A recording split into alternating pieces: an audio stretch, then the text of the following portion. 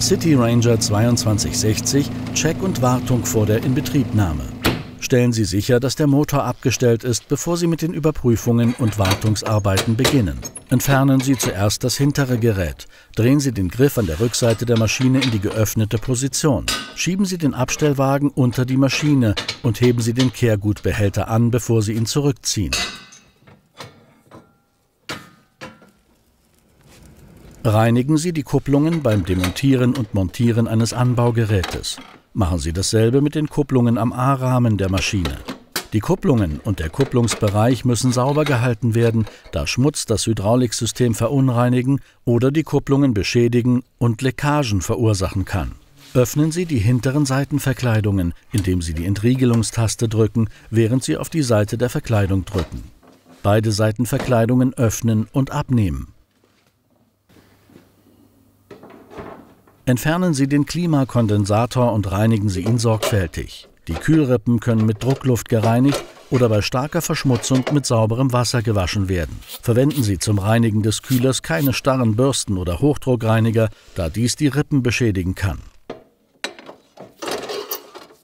Überprüfen Sie den Keilriemen, da ein loser Keilriemen zu einer Überhitzung des Motors und einer unzureichenden Batterieladung führen kann. Drücken Sie in der Mitte, dabei sollte er bei einem Druck von ca. 10 kg etwa 7 bis 9 mm nachgeben. Überprüfen Sie den Keilriemen auch auf Risse und Verschleiß. Ziehen Sie zweimal am Ölmessstab, um eine zuverlässige Ölstandsmessung zu erhalten. Der Ölstand muss zwischen den beiden Markierungen am Ölmessstab liegen. Wenn sich das Öl unter der unteren Markierung befindet, füllen Sie Öl nach. Der Motor enthält ca. 3 Liter Motorenöl. Warten Sie nach dem Einfüllen des Öls einige Minuten und ziehen Sie den Ölmessstab erneut. Überprüfen Sie den Kühlmittelstand und geben Sie gegebenenfalls Kühlmittelgemisch in einem Verhältnis von 50 zu 50 hinzu, bis der maximale Stand erreicht ist. Entfernen Sie niemals die Kappe, wenn der Motor heiß ist, da der Kühler möglicherweise unter Druck steht. Überprüfen Sie den Hydraulikölstand, wenn das Öl kalt ist. Das Öl sollte im Inspektionsglas sichtbar sein. Wenn kein Öl sichtbar ist, Öl hinzufügen. Schrauben Sie den Einfülldeckel ab und füllen Sie Hydrauliköl nach.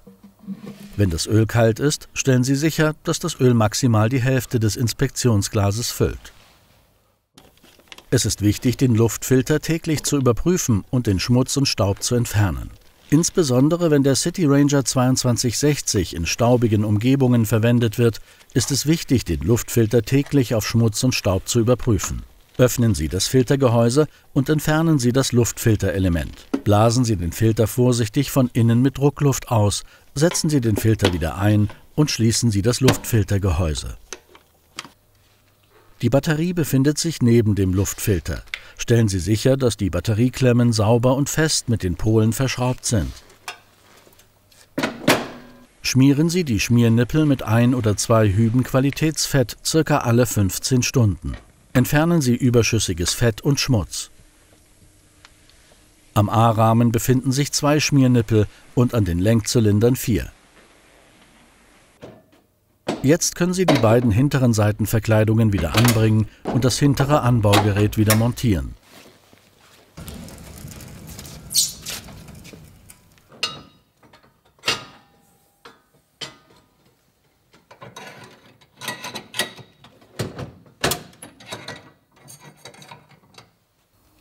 Überprüfen Sie den Reifendruck. Den optimalen Reifendruck können Sie in der Bedienungsanleitung nachschlagen schalten Sie die Zündung an, um den Benzinstand zu überprüfen.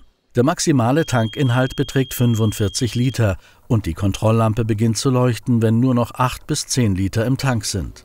Schalten Sie die Maschine aus. Prüfen Sie den Flüssigkeitsstand der Windschutzscheibenanlage, indem Sie den Fahrersitz nach vorne ziehen, um Zugang zum Scheibenwaschbehälter zu erhalten. Füllen Sie bei Bedarf Flüssigkeit nach. Und nicht zuletzt vergewissern Sie sich, dass alle Scheinwerfer und Leuchten einwandfrei funktionieren. Jetzt können Sie mit Ihrer Arbeit anfangen.